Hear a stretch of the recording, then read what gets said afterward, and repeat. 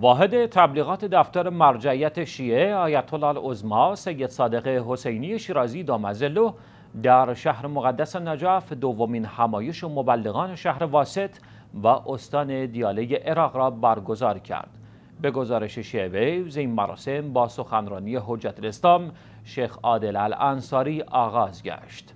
وی در سخنان خود ضمن اشاره به اهمیت تبلیغ دین سخنانی در رابطه با ارتقای سطح کمی و کیفی تبلیغات دینی و معرفی معارف مکتب اهل بیت علیهم السلام به جهانیان بیان نمود.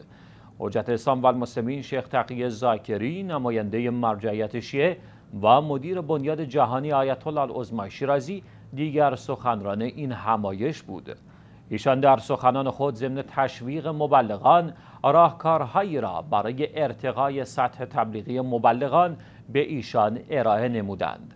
فراگیری علوم مقدماتی برای تبلیغ، توجه به ارکان تبلیغ، استفاده از سخرانی های علما و شخصیت های علمی، بهرهگیری از فناوری روز در جهت تبلیغ، برقراری ارتباط با جهان، ایجاد جامعه تولید کننده و آگاهی بخشی به مردم از معارف اسلامی از نکاتی بود که حجت اسلام و المسلمین زاکری به مبلغان دینی توصیه نمودند.